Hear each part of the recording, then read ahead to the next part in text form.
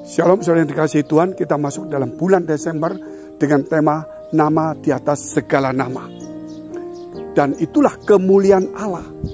Dan nama itu adalah nama Allah sendiri. Karena dikatakan juga di dalam kitab, yaitu doa Bapak kami Matius pasal 6. Jelas katakan, Bapak kami di surga, dikuduskanlah namamu. Kata dikuduskan namamu, nama siapa? Nama Bapak di surga.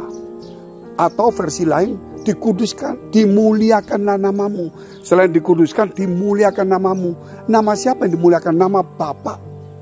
Dan kemudian kalau kita lihat di dalam ayat selanjutnya, maka dikatakan, karena engkaulah yang punya kerajaan dan kuasa dan kemuliaan sampai selama-lamanya. Segala kemuliaan. Ada satu pertanyaan yang kita perlu pertanyakan hari ini. Nama Yesus itu nama siapa? Karena kita tahu nama Bapa harus dikuduskan, nama Bapa harus dimuliakan, dan segala kemuliaan bagi dia. Nah kita lihat di dalam Yohanes 5 ayat 43. Yesus berkata, aku datang dalam nama Bapakku. Yaitu Yesus itu nama Bapa. Jadi kalau kita Bapa kami di surga dikuduskan, dimuliakan namamu, berarti kita harus memuliakan nama Yesus. Karena nama Yesus di atas segala nama. Dan nama itu jawaban doa. Dan nama itu juga adalah keselamatan kita. Kenapa? Karena dikatakan saudara bahwa siapa berseru dalam nama Tuhan atau Yesus Kristus maka dia akan diselamatkan. Oleh karena itu jangan pernah menaruh nama Yesus di bawah dari segala sesuatu.